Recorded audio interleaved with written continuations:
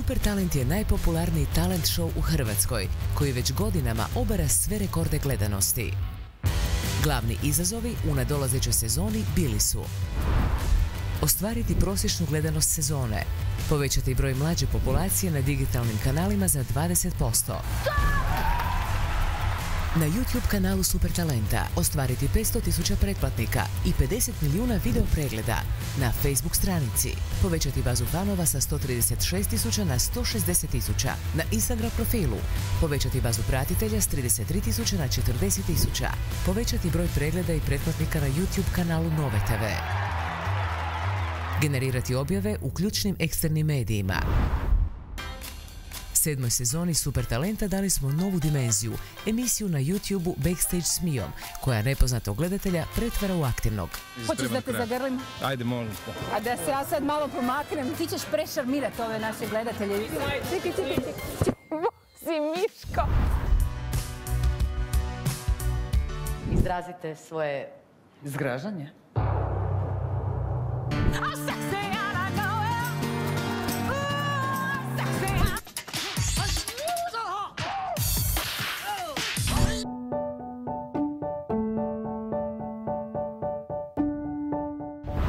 Sedma sezona najgledanija je do sada. Najgledanija epizoda privukla je više od milijun gledatelja, odnosno ostvarila je 60,3% udjela u gledanosti. Broj mlađe populacije na digitalnim kanalima uvećan je za 30%. YouTube kanal Super Talenta ostvario je povećanje broja pretplatnika za 47% i dosegnuo 80 milijuna pregleda. Broj Facebook fanova na kraju sezone iznosio je 183 tisuće. Broj Instagram pratitelja na kraju sezone iznosio je 49 tisuća.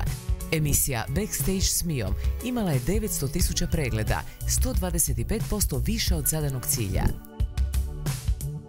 Super Talent ukupno je generirao 721 objavu u ključnim eksternim medijima, što je za 44% više od predviđenog. 70% medijskih objava sadrže jednu ili više ključnih poruka. 90% objava u medijima je pozitivno konotirano. Super Talent, show koji ruši sve stereotipe i ostvaruje sve snove. savršeno!